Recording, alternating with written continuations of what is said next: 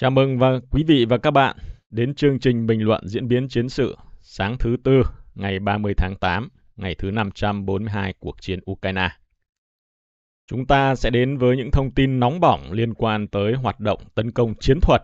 Hôm nay thì chúng ta thấy với tiêu đề như thế này thì có nghĩa rằng Ukraine đang áp đảo Nga trên mặt tận uh, trận chiến uh, chiến uh, tiến công chiến thuật và cũng như là một lời à, cảnh báo của chúng tôi với à, các quý vị thân Nga Đấy, là quý vị à, sẽ phải có một cái sự kiểm soát tâm trạng rất tốt đúng không ạ trong cái video ngày hôm nay.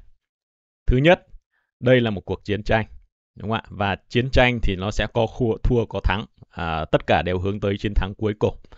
Thứ hai nữa là nó cũng chiến tranh cũng như là trong cuộc đời à, tất cả nó đều à, cần cái sự mạnh mẽ đúng không ạ để mà vượt qua những thất bại đừng cầu xin sự dễ dàng hãy cầu xin sự mạnh mẽ Vâng, một cái cách uh, bắt đầu câu chuyện không thể tồi tệ hơn. Tuy nhiên uh, đấy là những thứ chúng tôi uh, rất muốn truyền thông điệp với quý vị đến uh, uh, cái bản tin ngày hôm nay. Bởi tại sao? Bởi vì uh, uh, tôi uh, là người quản lý kênh thành thử ra tôi nắm được cái thông tin. Mỗi khi có những cái thông tin bất lợi cho phía nga thì nhiều khi cái tâm trạng của quý vị thể hiện trong những cái dòng chat đấy nó có thể nói nó bị cái cảm xúc chi phối rất nhiều. Và tất nhiên nó ảnh hưởng rất nhiều tới cộng đồng ờ, không khí nói chung, đúng không ạ? Cho nên là chúng tôi cũng cảnh báo trước quý vị như thế để biết là mình cũng ờ, suy nghĩ trước khi mà chúng ta à, trao đổi tránh ảnh hưởng tới người khác. Vâng, chuyện gì đã khiến tôi phải đưa ra lời cảnh tỉnh như thế? À, chúng ta biết là như vậy thì sẽ có những chuyện lớn, đúng không ạ? Lớn thế nào thì tùy mỗi người một hiểu một cách. Nhưng à, để bắt đầu câu chuyện thì chúng ta nhìn thấy một cái ờ, bức tranh như thế này. Rõ ràng trên mặt trận chiến đấu, tôi không nói về mặt trận kinh tế, chính trị nữa, nhưng mặt trận chiến chiến tranh, đúng không ạ? Thì phía Nga đang phải ờ, chiến đấu với lại rất nhiều nước của NATO, của phương Tây. À, và tất nhiên dưới cái um, sự ủy nhiệm của Ukraine và tất nhiên với chính lại Ukraine nữa cái đấy chúng ta không thể nào chúng ta loại ra khỏi cái cuộc chơi. Một trong nhân tố quan trọng nhất đó vẫn chính là Ukraine đúng không ạ? Kể cả là Ukraine không có sự hỗ trợ của phương Tây thì họ cũng có thể tiến hành một cuộc chiến tranh cầm cự. Đấy là chúng ta phải nhìn vào một cái sự thực nó như thế nha quý vị nhé và tất nhiên là lợi thế sẽ hoàn toàn bất lợi đối với họ đúng không ạ nhưng có một cái thứ vũ khí cực kỳ à, có thể nói cực kỳ sắc bén và nguy hiểm của Ukraine. Đấy là những cuộc chiến tranh phá hoại. Chúng ta cũng biết là Nga cũng có những cuộc chiến tranh phá hoại, đúng không ạ? Cũng có thám báo biệt kích, cũng tấn công chiến thuật để tiêu hủy nguồn lực ở hậu phương, ở tiền tuyến. Nhưng mà cơ bản cái đó của Nga nó nó có, nhưng mà bởi vì nó có nguy hiểm không? Nó rất nguy hiểm. Gây thiệt hại lớn không? Cực kỳ nguy hiểm, đúng không ạ? Cực kỳ lớn. Nhưng mà rõ ràng Ukraine từ trước đến nay họ không gây thiệt hại được quá nhiều cho Nga. Nhưng mà bây giờ thì như chúng tôi đã cảnh báo với quý vị, hai yếu tố để Nga có thể yên tâm tiến hành một cuộc chiến tranh trên đường dài để mà đánh bại, đúng không ạ, làm suy yếu được NATO.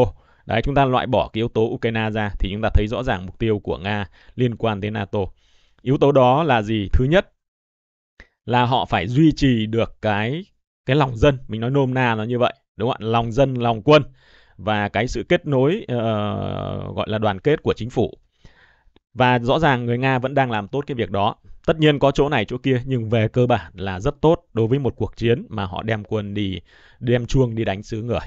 Đấy. À, địa, khởi điểm nhé quý vị nhé còn tất nhiên tình tiết chúng ta không đi vào chi tiết. Còn cái thứ hai cái cực kỳ quan trọng hơn là chúng tôi đã từng cảnh báo người nga đúng không ạ? Là trong toàn bộ cuộc chiến kéo dài như này thì nga phải làm sao đấy họ giữ được họ bảo vệ được cái hậu phương của họ trước những vụ tấn công phá hoại. Và cái đấy có khó không quý vị? Cực kỳ là khó. Tôi nghĩ rằng không khó khó không kém gì cái loại một. Bởi vì tại sao? Bởi vì ukraine họ không có một cái mặt trận nào khác để chiến thắng cho nên họ sẽ dồn toàn lực vào cái mặt trận thứ hai đó. Có nghĩa là chiến tranh phá hoại đúng không ạ?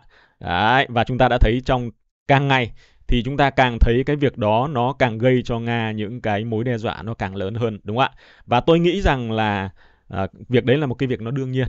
Bởi vì như tôi nói là Ukraine giỏi trong việc đấy. Có giỏi không quý vị? Rất giỏi, bản thân họ giỏi. Phương Tây cũng có những nước như nước Anh, nước Mỹ cũng rất giỏi trong việc đấy giúp. Tiếp theo là gì? Họ có đủ những điều kiện để họ chơi trò ám tiễn. Đấy, tức là họ thì ở trong bóng tối họ tấn công vào những mục tiêu nó lồ lộ ra của Nga nhưng phía Nga ngược lại là sau khi họ đã tấn công hết những mục tiêu lồ lộ rồi thì họ lại không có dễ dàng gì để họ tìm ra những mục tiêu trong bóng tối của Ukraine để tấn công cả. Đó, và Ukraine như tôi nói lại là rất giỏi và có rất nhiều phương tiện để họ làm cái việc như vậy. Cho nên là người Nga sẽ phải ngoài ở ngoài mặt trận, tất nhiên thì họ có lợi thế ngoài mặt trận, nhưng mà trên cái mặt trận chiến tranh phá hoại thì rõ ràng người Nga càng ngày sẽ càng phải đối phó với một cái uh, mối đe dọa càng ngày nó càng lớn hơn. Bây giờ chúng ta thấy là ở biển đen những tưởng nhiều người cứ nghĩ rằng biển đen thì có hạm đội của nga đúng không? Còn ukraine làm gì có hạm đội mà nga phải sợ? Nhưng mà rõ ràng hạm đội của nga biển đen của nga tàu bè của nga bến cảng của nga thậm chí những khu vực trên bờ ở biển đen bây giờ cũng bị ukraine đe dọa đúng không quý vị? Chúng ta thấy người ta đổ bộ lên một hai lần là gì nữa? Như vậy rõ ràng là đấy không phải là chuyện đùa, đúng không? Thế còn hôm trước tôi nói quý vị là gì? Là trên mặt trận biển đen nó là một vấn đề, nhưng mà cái nguy hiểm ở biển đen ấy, nó còn có khả năng để kiểm soát được. Còn cái nguy hiểm ở trên bờ ấy, nó mới cả là cái nó nó rất nguy hiểm. Ý tôi nói là một ngày nào đó Ukraine sẽ tìm mọi cách để săn lùng những cái máy bay của Nga, đúng không ạ? Những máy bay quân sự những cái máy bay ờ, có thể nói là bán quân sự hoặc một cái máy bay nào đó nó cái danh giới của nó giữa việc dân sự và quân sự nó không còn quan trọng nữa. Đấy, ví dụ như là những cái máy bay vận tải IL bao nhiêu bảy mấy đấy thì cũng có lúc nó làm nhiệm vụ dân sự mà có lúc làm nhiệm vụ quân sự đúng không ạ? Chúng ta không biết tách rời cái đấy là như nào chúng ta chỉ biết đấy là những máy bay vận tải của nga. Đấy và chúng ta không biết đó là mục tiêu nó là như nào. Hôm trước thì chúng ta nhớ một việc là sau khi mà Ukraine đã tấn công dồn dập các kiểu đúng không ạ vào ờ, khu vực lân cận của Moscow và chính Moscow bằng UAV Đấy, chúng ta thấy họ tấn công rất nhiều, do họ tấn công ở biển đen, họ tấn công ở những hướng bất ngờ và sau đó họ tấn công vào đúng cái khu vực Novorod ở cái sân bay ở trên và là phá hủy một cái máy bay Tu-22 của Nga, một cái máy bay đánh bom chiến lược rất đắt tiền, đúng không ạ? Và chúng ta đã nhìn thấy cái hành vi uh, của Ukraine là gì? Họ sẽ tập trung đánh liên tục những cái nơi như này để họ đánh một cái cú đòn chết người ở một cái khu, khu vực góc khuất nào đó và như vậy là việc này nó sẽ xảy ra liên tục nữa, đúng không ạ? Chúng tôi cũng nói hôm đấy là có thể nó xảy ra ở hướng Nam, có thể xảy ra ở hướng Bắc, hướng Tây Bắc, vân vân, hoặc là hướng Đông Bắc. Nhưng nó sẽ không xảy ra ở khu vực này. Thứ nhất là biên giới, đúng không ạ? Thứ hai nữa là nó sẽ làm nơi mà Ukraine đang có những hành động kiểu như là gạ gẫm, câu dẫn cái sự uh, chú ý của Nga ở đây rồi. Đấy. Và như vậy thì tôi nói như vậy có nghĩa rằng là là cái điều đấy nó sẽ tất yếu xảy ra không phải bởi vì tôi nói mà cái tất yếu của Ukraine là điều đó nó sẽ xảy ra đối với họ bởi vì họ sẽ không còn một cái nào để mà có thể chiến thắng được đúng không ạ? Cho nên họ phải tìm cái nơi mà họ dễ chiến thắng nhất đó là ở biển đen. Và những khu vực liên quan tới sân bay những tài sản quý giá của nga mà dễ bị tổn thương. Nhưng mà tôi nghĩ cái máy bay to là những máy bay dễ tổn thương nhất. Và ukraine đã thành công một vụ hôm nọ rồi. Còn hôm nay chúng tôi ờ, sẽ đem đến một tin buồn cho những quý vị thân nga. Đấy là Ukraine đã tiến hành một đợt tấn công nữa, có thể nói là gây thiệt hại còn lớn hơn cả hôm trước đối với phía Nga. Sự tình nó ra sao? Sự tình thì chúng ta thấy là uh, đâu giờ tỉnh uh, tỉnh uh, Peskov. Đây. Peskov là một cái nơi mà nó rất gần, chúng ta sẽ bàn sau nhé, biên giới của NATO. Có nghĩa rằng nó chỉ cách cái biên giới NATO chỉ khoảng 3, 30 40 km thôi. Và sân bay của Nga thì nằm ở khu vực này. Ngày hôm qua, sân bay của Nga đã bị khoảng 20 cái UAV của Ukraine tấn công. Vâng, sân bay đây quý vị ạ. Đây này, sân bay nhìn nó hình quả chám, quả à, các loại cây có ngạnh nhanh nhanh này. Sân bay rất to, đúng không ạ? Nhìn từ vệ tinh chúng ta có thể nhìn thấy là rất nhiều máy bay nhỏ này, rất nhiều máy bay to này. Đấy. Và không biết từ đâu, từ hướng nào, 20 cái UAV của Ukraine đã tấn công vào sân bay này và thông tin ban đầu thì có một chiếc máy bay vận tải IL-76 thiệt. Sau đó thì có tiếng thứ hai, có hai chiếc và đến chốt đến ngày hôm nay đã có bốn chiếc cái máy bay của Nga bị thiệt hại. Chưa kể những vấn đề nổ kho đạn rồi các thứ linh tinh chúng ta chưa có xác nhận rõ ràng về cái thiệt hại cuối cùng. Đấy là cái cái thiệt hại chính đúng không ạ? Nó diễn ra như vậy. Và chúng ta nhớ này, Peskov này, nó tít ở phía tây bắc của Moscow một khoảng cách cực kỳ xa, 5-700 km. Nó xa đường biên giới của Ukraine cũng 5-700 km và nó sát các nước NATO chỉ có 40 km thôi. Có rất nhiều thứ để chúng ta bàn về vấn đề này, đúng không ạ? Thế việc mọi việc thì nó diễn ra như nào?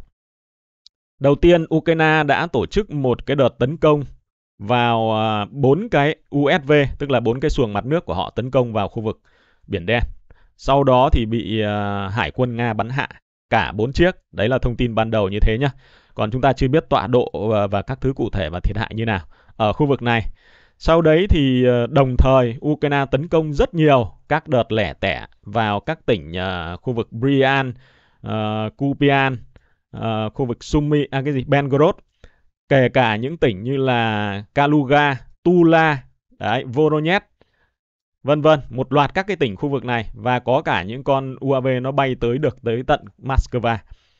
Đấy, quý vị thấy dã man chưa? Tất cả các tỉnh này đều bị tấn công, gần như đều bị tấn công trong ngày hôm qua và có những nơi cũng tấn công cả vào những cái khu vực uh, quan trọng của Nga, không biết là thiệt hại cụ thể như nào. Nhưng rõ ràng thiệt hại ở đây thì không có cái gì nó đáng nói, đúng không ạ? Nhưng mà cái quan trọng là sau đó một cái vụ tấn công cực kỳ lớn gồm 20 chiếc UAV hạng nặng của Ukraine đã bất ngờ tấn công vào Peskov. Đấy, chúng ta nhớ lại một cái vấn đề là Peskov sân bay và thủ phủ của nó nằm cách Estonia chỉ có 3-40 km, Latvia khoảng 5-60 km. Bây giờ chúng ta sẽ đi tất cả những cái um, uh, diễn biến nhé, rồi chúng ta sẽ chém gió sau. Uh, trước đó thì quý vị cũng biết là đầu tiên xuất phát điểm của đợt tấn công đó thì Ukraine tấn công vào một cái nhà ga ở Moscow. Đấy, một cái khu trung tâm của nhà ga. Nơi mà nó có một cái ờ, gọi là một cái quảng trường, nó kết nối giữa ba bốn khu liền. Đấy, quý vị có thể nhìn thấy hình ảnh bốc khói lên. Vụ nổ cũng khá lớn. Tuy nhiên thì nó cũng không gây thiệt hại gì đáng kể ở Moscow. Sau đó thì họ tấn công như tôi nói quý vị đúng không ạ, dồn dập ở những khu vực tỉnh lân cận ở khu vực phía đông nam, phía đông, à phía tây nam, phía tây và phía nam. Rồi sau đó họ tấn công vào vụ bên này và trước đó họ tấn công ở khu vực biển đen. Đấy. Có thể nói là cái cái cách mà đưa ra cái vấn đề của Kenan nó cực kỳ là hóc búa, cực kỳ nguy hiểm, đúng không ạ? À, xuất kích ở đây, sau đó đánh dồn khá lớn ở khu vực dưới biển đen để mà đánh gọi là lôi tất cả những dư luận của Nga vào đây. Sau đó thì bất ngờ tấn công ở trên phía này và cuối cùng là họ đã ra đòn, có thể nói một cái đòn có thể sát thương à, rất cao. À, đúng nghĩa mà nói thì đây là một trong những ngày buồn, đúng không ạ? Một ngày buồn nhất của không quân Nga.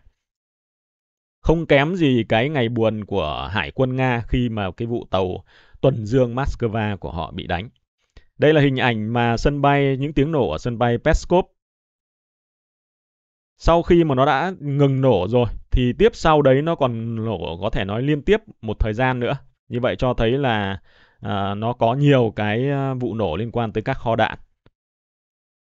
UAV bay vào sân bay và ở đó thì cũng có những hệ thống phòng không nhưng toàn hệ thống phòng không là bắn bằng tay hoặc là bắn bằng các loại đạn nhỏ. À, đây là video hệ thống phòng không cũng như là à, các lực lượng mà hệ thống phòng không chạy bằng cơm đấy. Vâng, quý vị à, thân Nga đã thấy buồn chưa? Vâng, buồn là buồn thôi quý vị nhé, buồn chứ không nản. Chúng ta biết là ở um, Ukraine cũng như ở Nga đấy thì uh, cũng là con người, người ta cũng đều có những cái um, tâm trạng nó cũng không khác gì cả. Có nghĩa là lúc mà Ukraine bị ờ, thất thủ các thứ ấy thì cũng rất nhiều tài khoản trên mạng họ bỏ bỏ tài khoản. Và mãi về sau đến cái đợt tấn công ở Zaporizhia họ cũng chưa quay lại nhưng mà mấy hôm vừa rồi có thông tin là chiếm được Zaporizhia họ mới quay lại. Ở Nga thì hôm nay cũng có nhiều tài khoản. Không không nhiều tôi thấy có một tài khoản một tài khoản khá uy tín cũng nói rằng là mệt mỏi với lại cách tiến hành chiến tranh của chính phủ đấy và anh ấy bảo là anh sẽ tạm dừng nghỉ một thời gian Vâng, vẫn là hệ thống phòng không tấn công UAV. Quý vị nhìn thấy phía Nga lúc mà UAV nó tấn công ờ, vào ờ, sân bay thì họ cũng bắn loạn lên, cũng không khác gì Ukraine.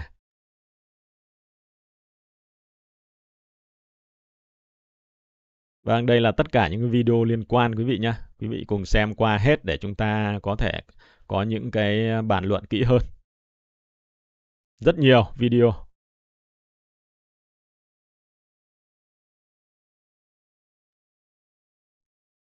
Vâng, đa số là trong đêm thì chúng ta không nhìn thấy rõ nhưng mà chúng ta nhìn thấy uh, những cái chấm sáng thôi. Đây là vụ nổ mà có thể nói là từ phía xa, đúng không ạ? Theo thông tin của những ờ, bên tình báo Thổ Nhĩ Kỳ, họ nói rằng ờ, có khả năng là cái UAV được phát động từ biên giới Estonia ở một khoảng cách có hai ba chục km. Tôi cũng nghi ngờ bởi vì ờ, à chúng tôi không biết là nó phát xuất phát từ đâu. Nhưng mà nếu là một cái đất nước như Estonia thì cũng không dại gì mà ngu đến mức độ mà để U UAV của họ đúng không ạ một cách cố ý xuất phát từ trong lãnh thổ của mình tấn công vào Nga. Đấy là một trong những cái điều có thể nói là tự rước họa à, vào thân. Nhưng mà cái việc có xuất phát từ ở đấy hay không thì chúng ta không thể biết được, đúng không ạ? Chúng ta không thể biết được và chúng ta không loại trừ. Nhưng mà tôi chỉ có thể loại trừ là chính phủ họ đứng đằng sau.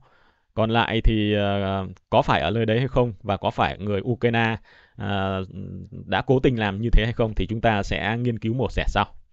Vâng, như vậy chúng ta đi qua một loạt những cái video liên quan tới cái vụ nổ ở sân bay. Đây là vụ nổ ở khu vực tỉnh Brian.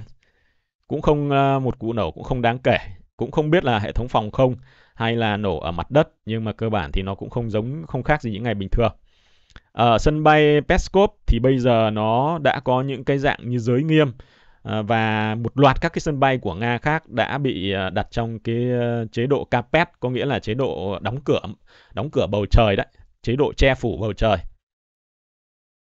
và đã có những cái lệnh giới nghiêm lệnh kiểu như thiết quân luật để mà mang tính chất chống khủng bố ở khu vực đấy.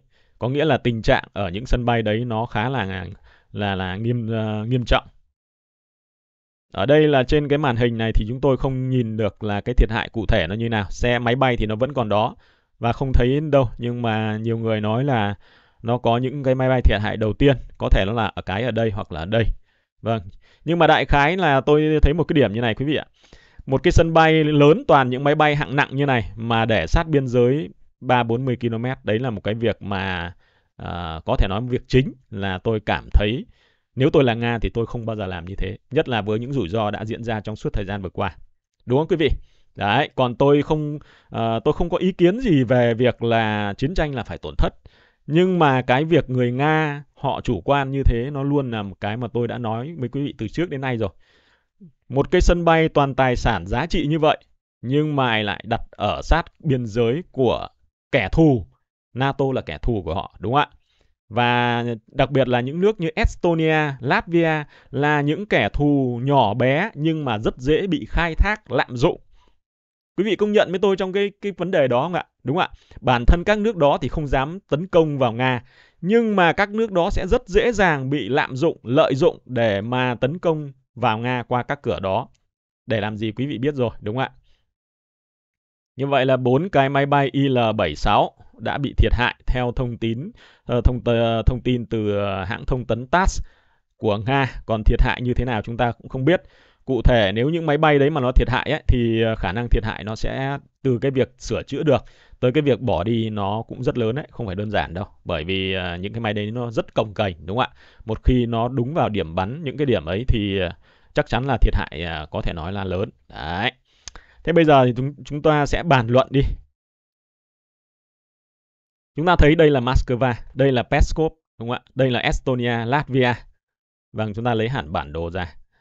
Như tôi nói lại quý vị là ở một khoảng cách Moscow đến đây tầm 5-700 km. Từ đây cho tới Ukraine thì nó phải vượt qua chính Belarus hoặc là chính uh, Moscow hoặc là đi qua Latvia, Litvia, Ba Lan rồi mới đến được Ukraine. Như vậy là bỏ qua những yếu tố đi qua uh, xuất phát từ uh, Ukraine đúng không quý vị? Bỏ qua yếu tố này bởi vì không ai điên rồ lại đi tấn công uh, UAV chạy thứ nhất là chạy theo hướng này lên đây thứ hai là chạy qua Belarus thì cũng coi như qua kẻ thù thứ ba là chạy qua một loạt các tỉnh của Nga. Thì hai cái cửa này thì đương nhiên sẽ bị bắn chặn khả năng bắn chặn rất cao phòng không đi qua thủ đô đúng không? Đi qua một loạt tỉnh thành. Nhưng khả năng này không bị bắn chặn nhưng mà cũng gặp rất nhiều vấn đội này rắc rối về chính trị và tất nhiên là đường vòng rất xa có thể lên tới hàng nghìn km và như vậy cũng rất khó xảy ra. Đấy. Thế thì bây giờ cái quan điểm quan trọng của nó là cái khả năng mà nó xuất phát từ đâu? Bây giờ chúng ta thấy là biên giới của Latvia, như chúng tôi nói quý vị, nó chỉ tầm độ 30 đến 40 km ở đây thôi cứ cho là 30 đi. Ở đây đến Latvia 50 km, Estonia 30 km đúng không ạ? Còn Phần Lan phía trên thì à, có thể lên tới hơn 100 km nhưng mà chúng ta cũng như chúng tôi nói là Phần Lan thì họ không dễ bị lạm dụng đâu. Đúng không ạ? không dễ bị lạm dụng. Nhưng mà hai nước này thì lại hoàn toàn khác, câu chuyện nó rất khác. Nhưng bây giờ giả sử thứ nhất chúng ta nói là đây uh, trong trường hợp mà Ukraine sử dụng lãnh thổ của hai nước này để tấn công sang thì như tôi nói quý vị là tôi có thể loại trừ một khả năng lớn là không, chính phủ của hai nước này không biết, đúng không ạ? Ít nhất là về mặt chính phủ nhé còn chúng ta không biết là những tổ chức hoặc như nào. Nhưng về mặt nhà nước thì rõ ràng hai nước này không dám làm điều đó. Bởi vì họ biết thừa một điều, nếu làm điều đó thì đương nhiên là việc là chính họ đã tuyên chiến với nga, đúng không ạ? Và lôi kéo cả nato vào để đánh nhau với nga. Đấy là một cái chúng ta nhìn thấy rất rõ. Nhưng không loại trừ khả năng là Ukraine đã tận dụng lãnh thổ của hai nước này là một trong những lãnh thổ kẻ thù của Nga và thân thiện với Ukraine để phát động cuộc tấn công UAV này. Và Nga không kịp trở tay bởi vì nó xuất phát từ một cái hướng có thể nói là rất bất ngờ, đúng không ạ? Nhưng mà tôi thì tôi không hề bất ngờ quý vị ạ. Tôi không chỉ lo cho sân bay này của Nga ở đây đâu, mà tôi còn lo cho cả cái sân bay của họ Anger, một cái sân bay rất to của họ ở gần khu vực uh, Phần Lan ở phía trên. Đấy, cũng giáp với biên giới Phần Lan. Mặc dù tấn công qua Phần Lan thì nó khó hơn là tấn công từ hai nước này. Đấy, như chúng ta đã phân tích rồi. Về cả cái yếu tố bản lĩnh chính trị lẫn tiềm lực thì hai nước này chỉ là cái móng tay so với Phần Lan mà thôi. Cho nên là cái khả năng tấn công từ hai nước này nếu có thì nó sẽ cao hơn ở Phần Lan so với lại sân bay Anger. Đúng không ạ? Còn chúng ta cũng không bàn là tại sao mà Nga lại ờ, có thể là ngố đến mức độ là để những cái sân bay và tài sản lớn của họ ở đây nữa. Chúng ta nói rõ ràng như vậy rồi. Một cái điều không thể chấp nhận được. Nhưng bây giờ giả sử như mà Ukraine lợi dụng cái lãnh thổ ở đây để phát động vào uh, cái cái sân bay này thì chúng ta sẽ thấy sắp tới nếu Nga phát hiện ra giả sử điều đấy là đúng thì là Nga sẽ làm gì là một trong những cái dấu hỏi rất lớn đúng không ạ chúng ta không đủ tâm để trả lời những cái việc như vậy nhưng mà rõ ràng là đấy là một trong những diễn biến lớn leo thang trong cuộc chiến này.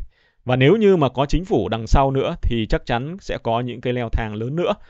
Đấy là về mặt mình nói là khơi khơi thôi nhá. Còn tất nhiên là dưới cái uh, cách làm của ông Putin thì chưa chắc đã có những cái phản ứng trực diện trực tiếp đúng không ạ? Phản ứng đáp trả theo đuôi mà sẽ có phản ứng nào đó nó đau đớn hơn ở một cái phía nào đó. Đấy tức là ở sau lưng chứ nó không ở trước mặt.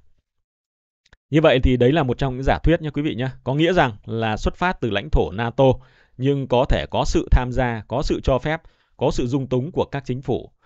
Làm phần ít còn phần lớn thì là sẽ không có sự uh, tham gia đúng không ạ? Sự biết hoặc là một sự làm ngơ nào đó nhất định từ các chính phủ đó.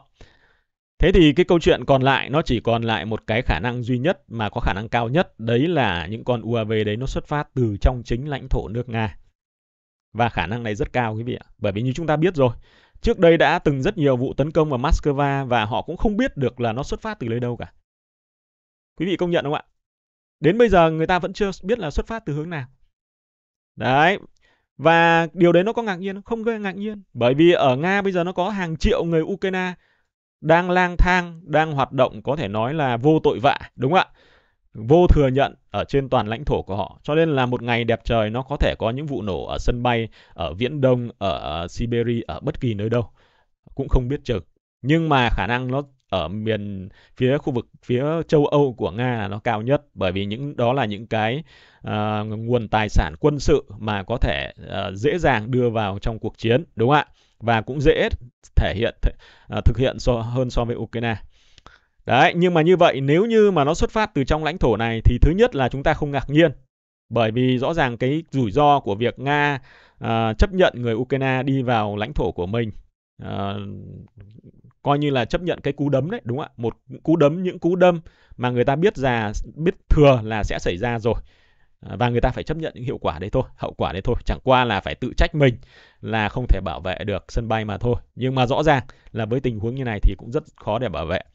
Nhưng ở đây tôi nói một cái vấn đề như này. Giả sử như chúng ta loại bỏ tất cả những yếu tố khác mà chỉ giữ lại mỗi cái yếu tố cuối cùng, tức là nó xuất phát từ trong lãnh thổ của nga, thì đấy mới chính là cái nguyên nhân nguy hiểm nhất. Bởi vì tất cả các vụ đó nga chưa bắt được vụ nào cả và đến vụ lớn này họ cũng chưa bắt được. Và như vậy sẽ còn có những vụ lớn hơn. Quý vị công nhận với tôi không ạ? Bởi vì cái việc này tôi đã nhận định từ trước rồi, đúng không ạ? Và không phải vì tôi nhận định nó mới thế, mà bởi vì Ukraine sẽ dồn nguồn lực vào đó, bởi vì họ không còn có thể dồn vào nơi đâu được. Chúng ta chỉ cần nhìn cái sự đầu tư tập trung một cách khủng khiếp vào ngành công nghiệp UAV, USV, đúng không ạ? Và những cái thứ mà Nga rất khó để bảo vệ ở khu vực không phận, không quân của họ ở trong nước của họ với lại khu vực biển đen, chứ nó không phải ở ngoài chiến tuyến. Thì chúng ta biết rằng là Ukraine sẽ bằng mọi giá tôi nói thật với quý vị là người ta xong những cái việc như này mà người ta sẽ làm mọi giá trong tương lai để người ta còn gây ra thiệt hại cho nga nhiều hơn nữa. Và tôi cũng không loại trừ là họ có thể tấn công cả vào những cái sân bay uh, quân sự ở dân sự. Sân bay máy bay vận tải quân dân sự đúng không ạ? Nơi mà không có nhiều hành khách không loại trừ quý vị ạ. Và việc đấy tôi cũng nói với quý vị trước đúng không ạ? Cách đây hai ba tuần tôi tôi nói ra giả luôn là một trong nhiệm vụ hàng đầu của nga mà có thể nói rất khó trong cuộc chiến này. Tuy nhiên đấy là một cái việc nó phải đương nhiên nó là phải việc mà nó sẽ uh, nó là hậu quả tất yếu không thể tránh nổi. Tức là không có cái cách nào để tránh nha quý vị nhé bản thân đây là một cuộc chiến đúng không ạ? Chúng ta thấy là nga cũng tàn phá ukraine thì ukraine cũng sẽ tàn phá nga. Cái đấy là cái điều đương nhiên thôi à, những việc mà họ tấn công vào khu dân cư thì tôi có thể lên án đúng không ạ? Nhưng mà nếu họ tấn công vào những mục tiêu quân sự thì nó không có cái gì đáng để lên án cả. Đấy mình thấy đấy là một cái điều nó công bằng. Cái vấn đề là Ukraine thầy phải tìm cách để mà bảo vệ bầu trời của mình. Và tất nhiên về phía Nga thì càng phải tìm cách để bảo vệ bầu trời và tài sản của mình. Bởi vì như tôi đã nói với quý vị đúng không ạ? Ukraine sẽ làm việc đấy nhiều hơn Nga làm và họ sẽ nguy hiểm à, rất nhiều Vâng, như vậy là tôi chốt lại thông tin ban đầu liên quan tới vụ tấn công đấy nhá, là phía Ukraine đã ra một tổ hợp các series đòn tấn công vào Moscow, nhà ga, không biết là cái gì nhưng có khả năng là đánh bom, đúng không ạ? Đánh bom vào khu dân sự, đây là một cái điểm mà chúng ta thấy là cần phải lên án việc này. Sau đó thì họ tấn công rất nhiều UAV vào cũng vào những khu dân sự à, và có thể có những cái quân sự nhưng mà đa số chúng ta thấy dân sự, người dân bị thiệt mạng của những vụ này cũng khá khá rồi. Đấy, họ tấn công vào liền một lúc vào bốn năm cái tỉnh ở khu vực phía Tây Nam và phía Nam và phía Tây của Moscow. Sau đó họ tấn công bốn con USV trên biển đen. Không biết là nhắm vào đâu tọa độ như nào. Phía Nga cho biết là đã bắn hạ bốn con đó. Nhưng ngay sau đó việc quan trọng lớn đã bắt đầu. Đấy. À, và việc như vừa rồi chúng tôi vừa nói, 20 cái UAV không biết tấn công từ hướng nào vào khu vực sân bay của thủ phủ tỉnh Peskov và gây ra thiệt hại 4 cái máy bay vận tải Il-76, à, có thể nói là xịn sò đắt tiền của Nga. Và như quý vị à, đã nói, tôi chỉ khẳng định lại một lần nữa thôi, không có cái gì à, đáng nói ở đây. Tất cả những cái việc này nó là những thứ mà chúng ta đã ước lượng được nó sẽ xảy ra. Chẳng qua là Nga có thể làm gì để giảm thiểu được những cái như thế mà thôi. Quý vị công nhận không ạ? chứ còn không thể tránh được hết tất cả mọi thứ.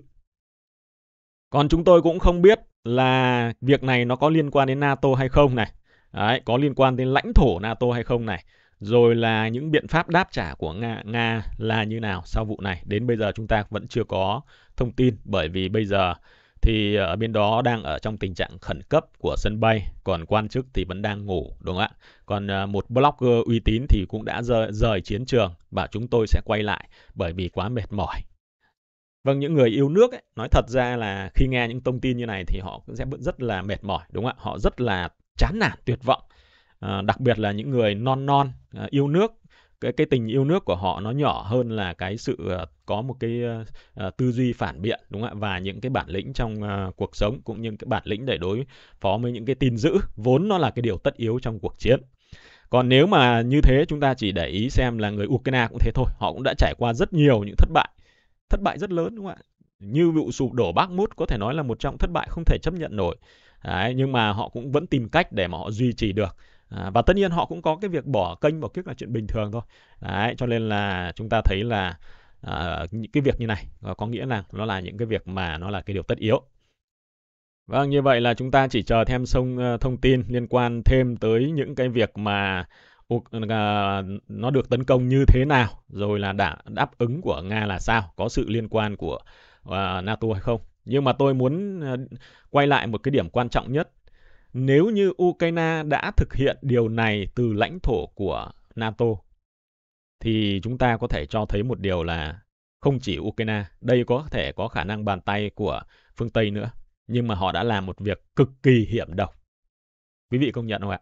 Bởi vì nếu như việc này liên quan tới NATO thì họ đã kích thích lôi kéo NATO vào cuộc chiến này và đấy chính là cái mục tiêu cực kỳ là tối thượng của Ukraine tại thời điểm này quý vị nhé. Ukraine thời điểm này thì cái điều mà họ mơ nhất đó chính là việc lôi NATO vào để chiến tranh với lại Nga. Tất nhiên đấy là một việc mà chơi dao hai lưỡi đúng không ạ? Rất nguy hiểm. Đùa với lửa đấy. Nhưng mà qua đó thì chúng ta có thể thấy một điểm là gì là Ukraine họ sẽ bất chấp họ sẽ bất chấp bởi vì họ tuyệt vọng ở cuộc tổng phản công. Quý vị nhớ là bây giờ tất cả mọi thứ của đất nước đều trông chờ vào cuộc tổng phản công, nhưng mà bây giờ nó đã thất bại rồi. Đúng không ạ? Họ phải động viên 200.000 và 300.000 sau, có nghĩa năm nay họ sẽ động viên 500.000 trên mặt trận truyền thông, còn thực tế họ có thể động viên lớn hơn thế rất nhiều, ít nhất là gấp đôi. Thì như vậy cho thấy họ tuyệt vọng như thế nào về cuộc tổng phản công này. Và như vậy thì không có cái gì mà họ không bỏ qua để họ làm, đúng không ạ? Đấy, và nếu như mà quý vị đặt và mình vào cái vị trí của họ ấy, thì đây cũng là một trong những cái điều cũng có thể cân nhắc để làm đấy chứ không phải là không đâu đúng không ạ đấy, trong cuộc chiến này thì nói thật là nó cũng vô độc bất trượng phu chúng ta cũng không biết thế nào để nói về vấn đề đạo đức cả. Vâng, chúng ta đến với vụ tấn công ờ, ngày hôm qua của Nga vào khu vực hậu phương của Donetsk, nơi một một cái toa tàu, một cái đoàn tàu à, cách xa cái tiền tuyến khoảng 50 km nhưng mà bằng cách nào đó thì UAV của Nga nó đã vượt qua được những cái hệ thống phòng không của Ukraine. Đấy, nó lơ lửng ở đấy và nó chỉ điểm cho pháo hoặc là tên lửa của Nga tấn công ở vụ này. Như vậy thì một là à, có những điều đáng nói, đúng không ạ? Chúng ta thấy là à, nếu nó làm sâu ở 50 km ở khu vực này như vậy cho thấy là Nga đã có những cái um, cái công nghệ để cho phép UAV của họ bay sâu và treo lơ lửng và tránh được cái sự phát hiện của Ukraine và sau đó họ thúc giục được cái đạn thông minh pháo kích thông minh nào đó ở khoảng cách 50 km bởi vì chúng tôi không ghi nhận thấy là có sự tấn công tên lửa của Nga trong vụ đó cho nên có khả năng đấy là vụ tấn công bằng đạn thông minh Krasnopol. Đấy, đấy là những thông tin ban đầu của những cái loại đạn mới có tầm bắn xa hơn của Nga. Chúng ta chỉ nhìn thấy cái cú đánh nó rất chính xác đúng không ạ? Một cái đoàn đoàn tàu nó hẹp như thế mà nó đánh trúng được cái toa tàu sau đó nó phát nổ hai cái toa bên cạnh như vậy cho thấy là đấy là một cú đánh có thể nói rất hiểm. Có thông tin là có một loạt các cái xe phương tiện xe hạng nặng ở gần khu vực ừ, ngay lân cận ở đó đang dỡ hàng xuống cộng với lại à, một vài chục nhân sự của Ukraine cũng ở xung quanh ba toa tàu. Có thể là những cái đấy cũng sẽ đều bị thiệt hại và thiệt mạng. Vâng, một trong những cái uh, lời màn mở đầu liên quan tới hoạt động tấn công chiến thuật quá dài dòng, đúng không ạ? Bởi vì quá nhiều điều đáng nói chúng ta sẽ mất nhiều công sức để nói về sự kiện đó nữa. Bởi vì nó có rất nhiều không chỉ uh, cái thiệt hại cho nga uh, những vấn đề liên quan đến ukraine đúng không ạ?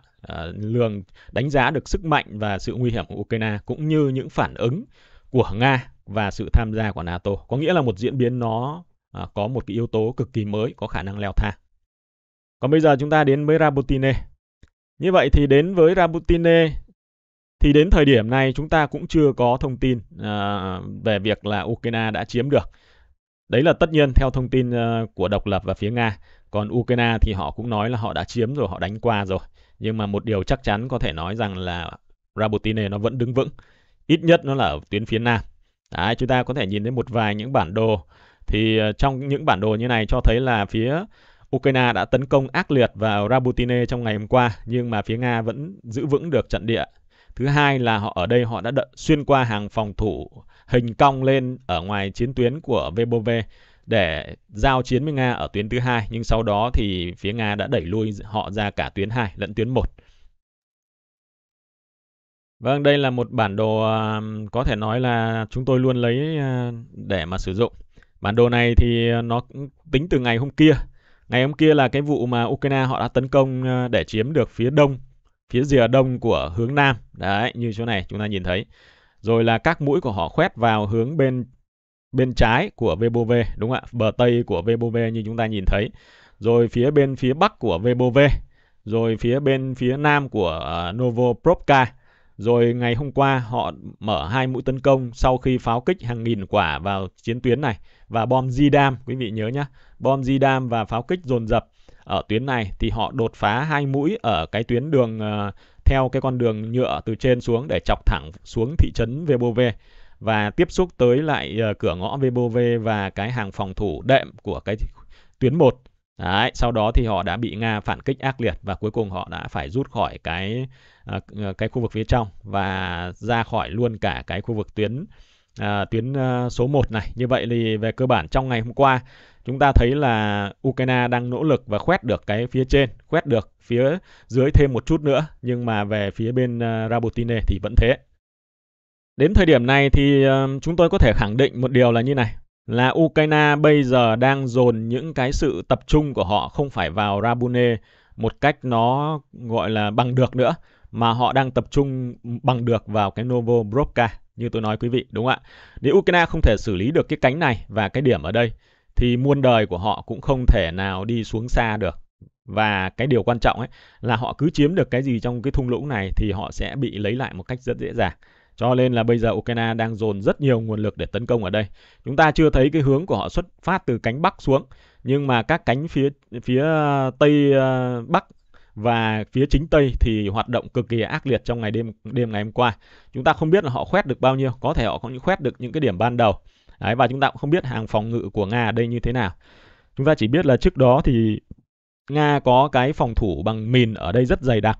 Nhưng mà thời gian qua thì Ukraine đã tiến hành những hoạt động giả phá bom mì ờ, rất là tích cực ở phía cửa ngõ vào cái Novoprovka à, cho nên chúng ta chưa biết cái tình hình ở đây như nào à, chúng ta tạm là đến thời điểm này Ukraine có thể khoét một cái khoảng phía tây nam phía tây của Novoprovka à, dựng đứng ở như này từ cửa ngõ xuống tới khu tuyến đường phía dưới còn ở khu vực này thì hôm qua sau khi họ khoét tới đây, thì ờ, họ tiến vào trong khu vực này và sau đó thì hôm nay họ đã bị Nga đẩy lui ra ở cái hướng này Phía dưới thì có thêm các đợt tấn công nhưng mà chúng ta không thấy có cái sự khoét sâu thêm. Bản đồ mà chúng tôi vừa đưa quý vị thì nó cũng chính là bản đồ chúng ta đang khai thác ở trên đây. Như vậy là nó có một cái sự tương tương ứng, đúng không ạ? Liên thông. Và như vậy thì hôm qua Ukraine đã vượt qua được giới tuyến đầu tiên của Nga ở ngoài cái điểm mà Nga cố tình đưa lồi ra đúng không ạ? Để nhờ những cao điểm hoặc là cánh rừng nào đó để mà nắn cho Ukraine trượt xuống phía dưới. Nhưng mà Ukraine họ cũng ý thức được về việc là hai cánh quan trọng cho nên những ngày vừa qua họ đã tấn công liên miên vào toàn bộ cái khu vực uh, cánh Bắc và cánh Tây để mà mở toang hai bên cánh để đánh thốc vào chính diện của VBOV. Nhưng mà trong trận ngày hôm qua thì sau khi họ đã tạo được đột phá qua khu vực này thì họ đã bị đánh bật trở lại. Và bây giờ thì bom đạn pháo của Ukraine lại tiếp tục dột vào đây. Còn Nga cũng làm điều tương tự. Tuy nhiên thì cái diễn biến có thể nói đáng lo ngại cho Nga là phía Ukraine đã dồn những cái nguồn lực lớn của họ ở khu vực này để mà tấn công sang hướng bên này. Đồng thời các cánh quân từ khu vực uh, dự trữ của tiền tuyến ở Oripko phía trên cũng tấn, tấn công vào khu vực này. Nếu như mà Ukraine sẽ dồn sức tấn công mũi thêm ở trên này nữa thì có thể nói là Nga cái khu vực này của Nga phòng thủ rất tốt nhưng mà cũng sẽ đứng trước một cái uh, cái tình thế rất khó khăn đúng không ạ? Rất khó khăn phía Nga cũng đang nói là khó khăn nhất đang diễn ra ở khu vực này bởi vì là cả ba mặt à, gần như ba mặt nó đang tiếp cận với lại cái ờ, giới tuyến với Ukraine.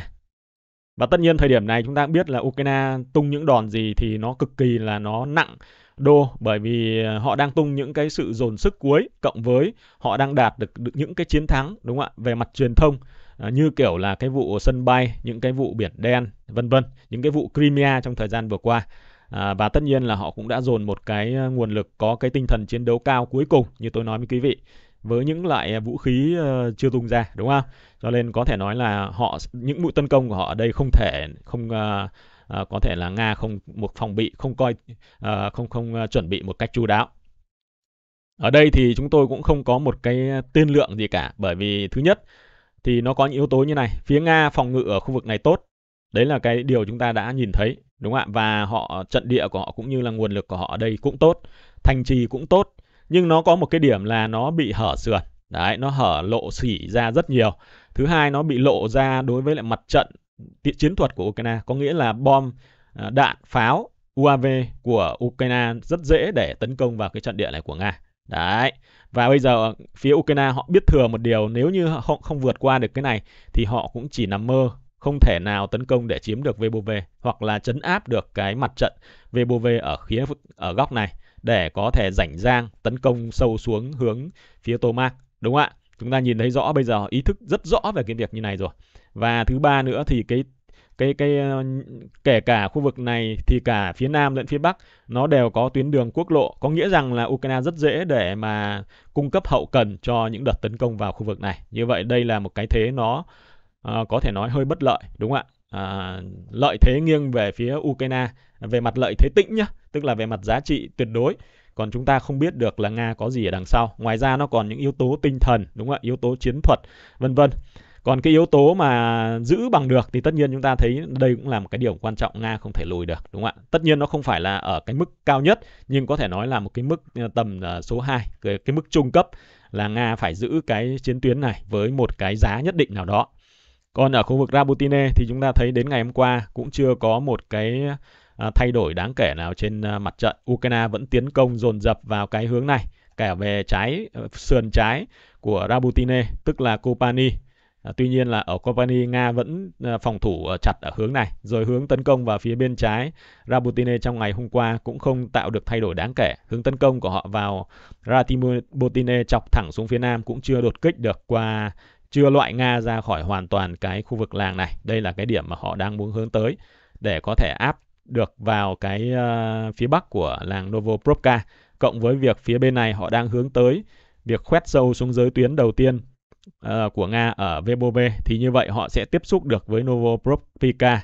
bằng hai hướng từ thẳng hướng bắc đúng không ạ và hướng phía tây cũng ở đông cũng như là hướng đông bắc.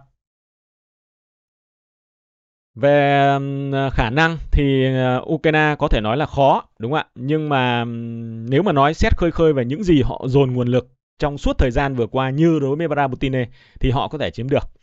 Nhưng mà có một cái vấn đề tôi nói là một yếu tố nó không đứng về phía Ukraine đúng không ạ? Đó là rõ ràng là yếu tố thời gian. Đấy cho nên yếu tố đấy nó sẽ quyết định rất quan trọng quyết định rất nhiều trong ờ, cái cuộc chiến ở xung quanh khu vực à, uh, Rabutine này đến thời điểm này thì chúng ta thấy là Ukraine đang hoạt động cực kỳ ác liệt UAV ở trong cái tuyến ở đây chúng ta không có những thông tin thiệt hại đáng kể của phía Nga ở khu vực này nhưng mà chúng ta cứ nhìn UAV của hoạt động trong một tuần qua thì nó nối dài từ trên cửa ngõ phía tây bắc xuống tít phía tây đông nam của VBV Như vậy là nó báo hiệu một điểm là phía Ukraine sẽ tổ chức những đợt tấn công ác liệt vào khu vực này, đúng không ạ? Và bây giờ họ đang dọn dẹp cái cánh, cái sườn cả hai cánh hai sườn cho cái ờ, đợt tấn công lớn của họ vào khu vực này. Không biết họ có tham vọng để chiếm bằng được VBOV hay không, nhưng họ nếu họ vượt qua được cái giới tuyến 1 Đấy, để mà chốt được ở cái khu vực giới tuyến phụ của nó thì cũng có thể nói là một cái sự thành công đáng kể để có thể bắt đầu quay trở lại cái chiến dịch chính của họ ở hướng này.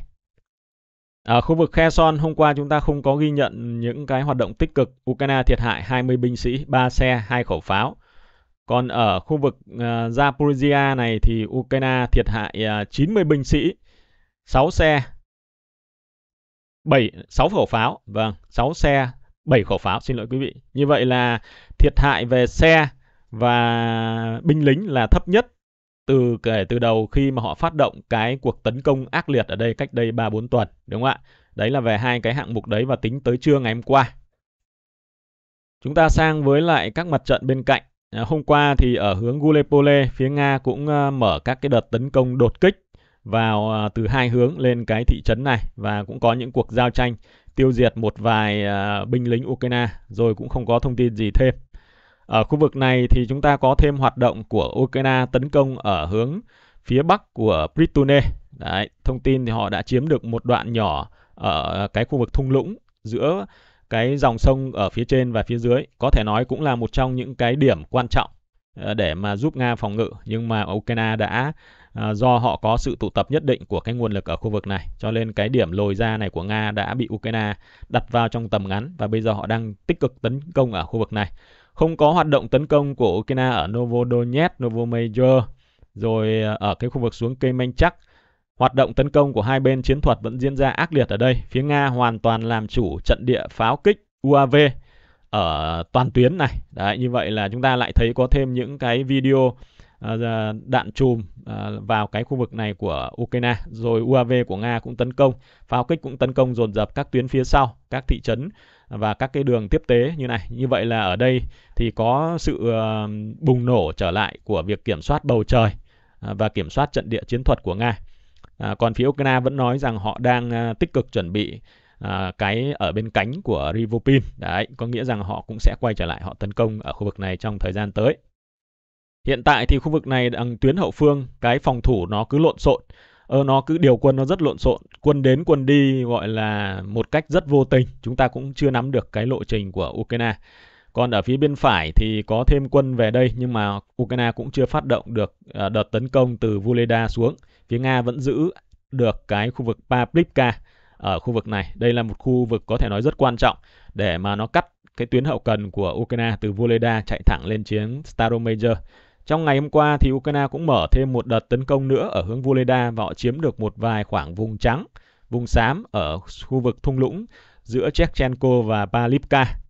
Như vậy là một ngày Ukraine cũng hoạt động khá tích cực đúng không ạ? Không có ở tuyến bên kia của bên dưới bên tây của Voleda nhưng mà tuyến này cũng uh, đã bắt đầu tích cực lên. Còn ở phía bên uh, hướng Bắc uh, Zaporizhia thì Ukraine hôm qua cũng tổ chức thêm một loạt các đợt tấn công nhỏ nữa ở khu vực làng uh, Pattaya Như vậy là Ukraine cũng có một cái động lực, một cái động lực của mang cấp chiến dịch rất ác đúng không ạ? Tấn công trên khá nhiều vùng. Đấy. Phía Nga cũng nói là mặt trận này cũng gặp những khó khăn nhất định nhưng mà chưa có thay đổi gì trên uh, chiến tuyến. Ngoài ra chúng ta không nhận được những thông tin uh, nó mang tính uh, chất định lượng nó kỹ hơn. Vâng, đây là khu vực uh, Nam Donetsk. Chúng ta đến với thiệt hại của phía Ukraine. Ukraine thiệt hại ở hướng này 100 binh sĩ, 5 xe, 2 3 khẩu pháo. Vâng, cũng là một con số giảm à, đột ngột đúng không ạ? Giảm một nửa, hơn một nửa so với mọi ngày. Bây giờ chúng ta sẽ tới với khu vực Donetsk, bắt đầu bằng khu vực hướng Marinka, lân cận của Marinka ở cánh Krasnohorivka, Novomikhailivka. À, phía Nga vẫn tiếp tục tấn công và có thể nói trong thành này thì bây giờ nó nát bét rồi. Nó nát bét và nhìn trên bản đồ nó đã chi chít từ khu vực Konstantinivka lên tới giáp với Polopivka và phía bắc của Vodiana của Voleda thì nó nát bét và ngày nào Nga cũng tấn công tiêu diệt được một vài những cái tài sản uh, của Ukraine ở hướng này cộng với lại uh, những cái uh, chiến hào của họ ở sát chiến tuyến Đấy, với việc này thì chúng ta thấy là dường như Nga đang tích cực chuẩn bị cho một cái đợt xuất quân tấn công từ hướng Marinka. Đấy, từ khu vực Nam đột nhét để tấn công sang phía bờ Tây. À, song song với việc là họ cũng đang tích cực tương tự như thế ở trên Krasnohorivka. Rất ác liệt trong suốt những ngày vừa qua.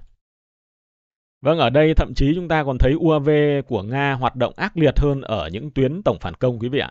Một cái điều nó rất khó hiểu. Nếu nói rằng đấy là sự thiếu thốn thì không phải đúng không ạ à, hoặc là cũng có thể lý do thiếu thốn mang tính chất quân khu hai quân khu khác nhau thì cái đấy chúng ta không biết được nhưng rõ ràng về mặt uh, chiến lược thì không không có một cái sự thiếu thốn đúng không bởi vì họ đang dồn UAV và pháo kích vào một cái mặt trận nó không đáng kể nó không có một cái giá trị nhất thời đối với họ. Thì có nghĩa rằng là họ không bị thiếu thốn những việc đó. Đấy, chúng ta chỉ thấy là đó là những cái uh, ẩn ý chiến thuật nào đó của người Nga mà thôi. Ở hướng Adipka thì phía Nga cũng mở các đợt tấn công quay trở lại à, vào cái khu vực này. Và họ lần này thì họ đã chiếm thật cái khu vực ngã ba ở đây và đang dập dòm tiến quân về hướng này. Đấy, còn lại hoạt động uh, à, UAV của Nga cũng tích cực ở hướng này và UAK của Ukraine cũng tích cực ở hướng này. Họ cũng tấn công để tiêu diệt được pháo của Nga ở khu vực uh, điểm này để hỗ trợ cho toàn tuyến à, ở uh, tuyến này của Nga ở đây. Và thiệt hại ở khu này vẫn rất ác liệt quý vị nhé. Toàn bộ cái tuyến Donetsk này chúng tôi xem nào. Ukraine thiệt hại 340 người, à, 19 xe, hai khẩu pháo. Cực khủng khiếp. Đấy. Bây giờ chúng ta biết nó khủng khiếp ở đâu rồi. Thứ nhất là tuyến này và phía dưới vẫn giao tranh ác liệt. Cửa ngõ của Donetsk bao giờ tuy không có giao tranh trên mặt trận, mặt đất thôi, nhưng mà cái thiệt hại của Ukraine ở khu vực này luôn lớn bởi vì nó ngay giữa cửa ngõ của Donetsk và phía Nga ưu tiên các hoạt động pháo kích của họ ở đấy. Thế còn ở khu này thì chúng ta đã nắm được thông tin ở trên Donetsk bởi vì là cái à, người mà người ta phụ trách cái mảng chiến trường này mấy hôm vừa rồi ấy, ở nguồn tin trung lập ấy, à, bản đồ họ vẽ thì họ có à, rơi vào một cái vùng lãnh thổ mà nó không có cái mạng ổn định. Đấy, cho nên là hôm nay họ mới đưa ra được cái bản đồ của mấy ngày vừa qua. Như vậy là theo bản đồ này thì cách đây mấy hôm là phía Ukraine họ đã tấn công để mà chiếm được cái khu trung tâm trở lại của Kikitcha đấy và một loạt các cái khu vực à, phía lân cận như chúng ta nhìn trên bản đồ tức là hoàn toàn cái phía tây của thị trấn này và khu trung tâm còn ở phía dưới Andipka và Kurimika thì họ cũng chiếm lại một số điểm cũng rất quan trọng ở phía tây đúng không ạ còn à, Đến thông tin ngày hôm qua thì chúng ta thấy là phía Nga cũng đã so với bản đồ ngày hôm qua thì họ đã phản công và họ đã chiếm lại một vài những cái điểm đã mất ở Kikitcha như chúng ta nhìn thấy. Đây là những cái điểm phản công ờ, của Nga là gần như là họ đã lấy được lại khu trung tâm này. Khu sát trên phía Bắc là đang giao tranh này, khu phía Tây Nam thì chiếm lại được khu vực ở sát này. Còn khu này thì đang diễn ra giao tranh ác liệt ở đây. Đấy là diễn biến bị trễ một vài ngày. Như vậy là trong những ngày đó chúng ta thấy là Ukraine tổ chức các đợt tấn công ở đây cũng rất ác chiến đúng không ạ? À, và UAV của họ cũng bắt đầu làm việc trở lại rất tích cực. Ở hướng này họ đã tấn công sát được tới cái đường tàu. Ở đây, ở phía dưới họ cũng khoan tới sát đường tàu. Ở Adipka thì họ cũng đã chiếm được một vài điểm ở phía tây. Đấy, trong mấy ngày vừa rồi. Như vậy là cũng quét sát với Adipka rồi. Cái tình huống bây giờ nó quay trở lại nó khá là à, đối với tình huống nó khá nguy kịch đối với lại Adipka cách đây khoảng 3 tuần đối với Nga, đúng không ạ? Nhưng mà chỉ có một điểm là ngày hôm qua hôm kia thì phía Nga cũng đã liên tiếp phản công ra để đẩy lui một vài điểm của Ukraine ra khu vực này. Đấy là những cái điểm chúng ta thấy là Nga lại phản công ngược trở lại và ở phía dưới thì Nga cũng phản công lại và họ chiếm lại toàn bộ cái khu vực phía tây bắc của cái ờ, làng Kurimika ở đây. Như vậy là giới tuyến của Ukraine trong những ngày này họ đã khoét có thể nói rất sâu đấy vào trong cái khu vực đường sắt. Vị nhìn thấy này, đường sắt ở đây này. Đúng không ạ? Và khu vực này còn phía này nó đã à, gọi là vào được cái cánh rừng mà nó chiếm toàn bộ cái miền nam của Kikicha rồi. Đấy, chỉ còn cái điểm này là họ đã bị đánh bật ra. Còn khu vực này thì Nga đang tích cực phản công trên toàn tuyến. Chúng ta sẽ chờ thêm những thông tin tiếp theo liên quan đến vụ này. Và đây có thể là những cái uh, hình ảnh mà nó dẫn tới việc mà Ukraine đã thiện uh, đã bị tổn thất rất nhiều. Trong những video như này, đây là những cái video của quân ờ, đặc nhiệm Akhmat Chechnya, họ đột kích vào chiến hào ờ, của Ukraine trong đêm ngày hôm qua. Phía bên trái của tôi là cánh quân của Ukraine. Đấy, và trong đêm thì toàn bộ cái nhóm 3-4 người này của Chechnya họ vào, họ càn quét và họ tiêu diệt toàn bộ cái cánh quân không biết là có ngủ ở không ở chiến hào công sự này để họ chiếm lại cái khu vực này. Hình ảnh nó khá là khốc liệt cho nên chúng tôi sẽ không ờ, bắt quý vị phải trải qua những việc như vậy. Rồi chúng ta cũng có liên tục có những cái vụ ờ, tấn công tiêu diệt xe của phía Nga vào ờ, trận địa của Ukraine như đã xảy ra trong mấy ngày vừa qua. Như vậy là giao tranh rất ác liệt, đúng không ạ? Chẳng qua chúng ta chưa tiếp cận được với ờ, bản đồ thôi. Còn lại thì ở đây như vậy là tình hình nó nó dồn dập nhưng mà cái mấy ngày dồn dập ấy, thì chúng ta đã bị bỏ nhỡ. Đấy. Còn lại thì bây giờ chúng ta đang xem cái ờ, phần ờ, cuối cùng của cái đoạn như vậy. Giao tranh ác liệt trên toàn tuyến từ uh, Kikicha to cho tới uh, tít tới mũi phía uh, tây bắc của Kurimika. Và bây giờ Ukraine đang tụ tập quân ở khá nhiều ở khu vực Kurimika ở đây. Có khả năng họ tập trung tấn công trở lại từ hướng đông rồi họ sẽ mở lại các mũi tấn công ở phía tây bắc xuống rồi họ sẽ tấn công sang phía Andrivka rồi họ sẽ tấn công vào cái khu vực uh, cắt của Andrivka và Kurimika. Chính là cái nơi đường sắt này rất nguy hiểm đối với Nga. Rồi họ sẽ tổ chức tấn công chọc sâu vào đường sắt giữa Andrivka và thị trấn Kikitsa và họ sẽ tấn công từ hướng này vào lên phía nam của Kikitcha nữa. Và tất nhiên sẽ có các mũi tấn công từ hướng bắc, hướng tây bắc và hướng tây. Như vậy là với cái mặt trận như này chúng ta thấy nếu mà à, cái um, cái cái sự chủ động rơi vào tay quân Ukraine một lần nữa và họ có nguồn lực thì có thể nói đây là một trong những cái sự chưa đột phá nhưng mà cũng là một trong những cái điểm mà họ tiến rất sâu, rất sát à, đối với lại mặt trận Nga ở cánh hướng nam. Kikitcha rất sâu và phía nam của Andivka cũng rất sâu rồi. Ngược lại với phía nam thì ở phía bắc là phía Nga lại giành sự chủ động. Đấy, họ bắt đầu tấn công trở lại khá ác bằng UAV, pháo kích vào khu vực Bodinivka, Hirorivka, Orikovasilivka toàn tuyến này và chỉ còn giao tranh cầm chừng mấy Ukraine ở trong cái cánh rừng uh, khu vực Janinianske ở đây. Vâng, chúng ta nhớ là tổn thất của Ukraine ở hướng này trong ngày hôm qua rất cao, 340 cộng với lại một loạt các cái trang thiết bị lên tới mười mấy, 19, 20 đúng không ạ? Và pháo thêm vài nữa. Ở hướng trên thì chúng ta chưa có những thông tin cụ thể liên quan tới giao chiến của hai bên. Vẫn là các đợt tấn công của Ukraine liên tiếp gần như là ngày thứ bảy thứ 8 rồi, à, liên tục vào khu vực mũi Toske. Đấy và bị đẩy Nga bị Nga đánh lui. Ờ, mũi Divovka cũng thế, chỉ còn một cái hướng tấn công nhỏ của Ukraine vào khu vực phía cái nách này. Đấy, thì bị uh, thì đã khoét được một điểm nhỏ nhỏ của Nga vào đây. Còn lại thì khu phía trên vẫn không thay đổi gì về mặt trận. Lên trên của khu vực Toske, Makivka Rồi toàn tuyến Statop và hết Liman cũng không có gì thay đổi và luôn ở phía trên.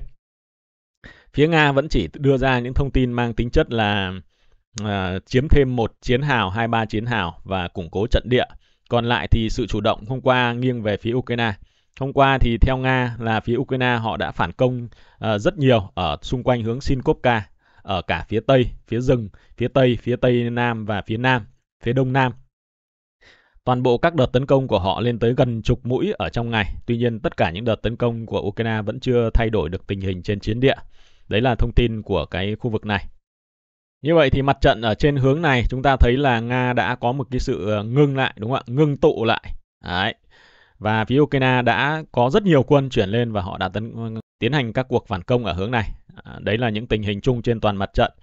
Nhìn uh, qua toàn mặt trận thì chúng ta thấy à vâng, chúng tôi xin lỗi về những cái việc uh, thông số đã. Kupian, hướng Kupian Ukraine thiệt hại 50 binh sĩ, uh, 3 2 xe, 3 khẩu pháo. Vâng, khá ít so với mọi ngày. Còn hướng Liman ở bên dưới thiệt hại 80 binh sĩ, 5 xe, à, 7 xe, xin lỗi, không khẩu pháo. Như vậy là toàn tuyến thì Ukraine thiệt hại thấp hơn rất nhiều. Chỉ có mỗi nhân sự và xe cộ ở Donetsk thì nó tăng thôi. Trong 24 giờ thì Ukraine bị ờ, tấn công tiêu diệt 132 trận địa pháo, nhân sự, trang thiết bị vũ khí bởi các lực lượng hàng không, chiến thuật, pháo kích của Nga, UAV của Nga.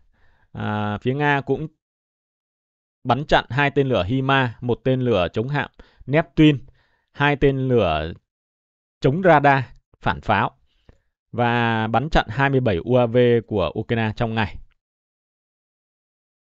Vẫn liên quan tới những vấn đề cuộc tổng phản công, thì nhưng tôi nói quý vị là có những thông tin cập nhật về việc sau khi hôm qua có ờ, thêm những thông tin cập nhật về các cái bản đồ tổng động viên của Ukraine, thì hôm nay có thông, thêm thông tin là trong các cái tỉnh sát biên giới họ sẽ nhanh chóng trong mùa thu tới tổng động viên 200 người rồi 300 người vào mùa đông và đầu xuân. Có nghĩa rằng là họ sẽ có ít nhất 500.000 lính mới đúng không ạ? Cho cái ờ, chiến dịch mùa xuân năm sau. 500.000 rất khủng khiếp quý vị ạ. Nếu mà để mà làm quân phòng thủ ấy, 500.000 là rất lớn đấy. À, và như vậy thì có khả năng với 500.000 thấy thì cái con số thực tế nó có thể lên tới cả triệu người. Như vậy là gì? Như vậy nó cho thấy một điều là Ukraine có một cái ý chí để có thể tiến hành cuộc chiến tranh kéo dài, ít nhất là ý chí chính trị, đúng không ạ? Chúng ta nói về, về khía cạnh chính trị đã. À, thứ hai là cái sự ủng hộ của phương Tây có khả năng nó sẽ bị giảm sút nhưng mà nó sẽ à, vẫn có thể duy trì để giúp Ukraine tiến hành một cuộc chiến tranh phòng ngự và phản công ở một vài hướng. Đấy là điều chúng ta sẽ thấy chắc chắn. Ukraine cũng đã tăng tốc sản xuất quốc phòng. Theo ông Zelensky, ông nói rằng là à, đợt này chúng ta đã à, gọi là đạt cái mức sản lượng quốc phòng cao nhất từ trước đến nay. Đấy, chúng ta không biết là bao nhiêu à, sự thật của nó, nhưng mà rõ ràng là phía Ukraine họ đã làm việc đó. Và đấy là một trong những việc nó hiển nhiên thôi. Không phải là dễ dàng để tìm ra những nhà máy sản xuất quốc phòng để tiêu diệt đâu quý vị nhé. Nó có thể nằm ở mặt đất, ở dưới lòng đất hoặc nó nằm ở những cái nơi trá hình rất khó đối với một xã hội như Ukraine thì không phải là cái hoạt động phản gián gián điệp mà dễ thực hiện đâu nó là một cái xã hội bài mà bài nga và cái xã hội mang tính chất quân phiệt khá cao. Đấy, thanh trừng rất nhiều, cho nên hoạt động phản gián sẽ có cái tác dụng ít hơn rất nhiều so với các xã hội dân chủ. Còn ở phía nga thì chúng ta thấy chắc chắn họ cũng phải duy trì, họ cũng phải phát động một cuộc à, tổng động viên, đúng không ạ? Chúng ta chưa biết là nga sẽ tiến hành cuộc tổng động viên như nào, nhưng đã có những thông tin cụ thể về việc đó còn chúng ta cũng chưa có thêm thông tin về các vụ uh, mở các mặt trận phía Tây Bắc hay phía gì cả.